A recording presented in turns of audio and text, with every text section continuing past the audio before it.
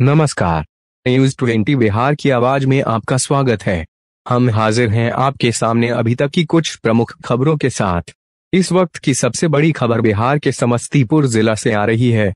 जहाँ विद्याप्ति नगर थाना क्षेत्र के सिमरी कोल्ड स्टोरेज के मालिक सुशील कुमार आनंद ने कोल्ड स्टोर कैंपस में हुई मारपीट व तोड़फोड़ के मामले को लेकर विद्याप्ति नगर थाना को आवेदन देकर न्याय की गुहार लगाई है।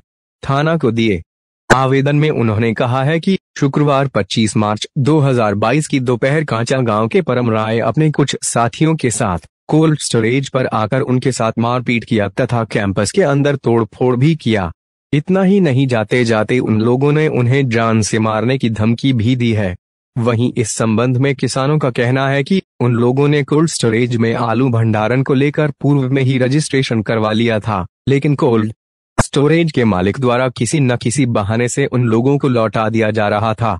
अब जब उनके भंडारण की तिथि खत्म हो गई, तब यह कहकर आलू नहीं लिया जा रहा है कि उनका समय खत्म हो चुका है, और अब कोल्ड स्टोर में आलू रखने की जगह भी नहीं है। उन्होंने कोल्ड स्टोर के मालिक पर मनमानी और बदसलूकी करने का भी आरोप लगाया है।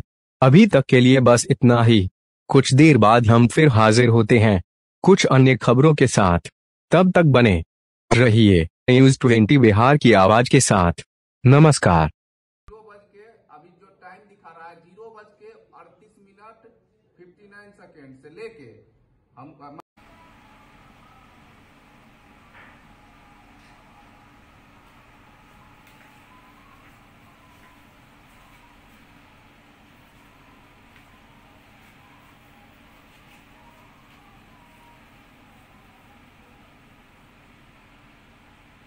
नहीं उठाएँगे। परसों एक भूतपूर्व मुखिया है परम राय, कांचा के। वो जो है सो राइफल लेके आए थे, ठीक है। और उन्होंने जो है सो धमकी दिया कि आप आलू रखिए, नहीं तो जो है सो बैग से जो है सो कुछ हमको चाहिए। तब हम अपने किसान सबको समझाएँगे, ठीक है। उसके बाद जो है सो हम लोग उस पर जो है सो कुछ ये नहीं किए, क्योंकि ग्रामीण जो है सो कोई ये करता है तो अच्छा नहीं लगता। है फिर उन्होंने जो है सो पाँच किसान को भेजा, जिसके पास पुर्जा था। मैंने पुर्जा सभी का चेक किया, जो कि सभी का डेट फेल था, सोलह तारीख, पंद्रह तारीख और एक बीस का था, जो कि बीस वाला जो है सो उसको कट करके पच्चीस डेट बनाए हुए था।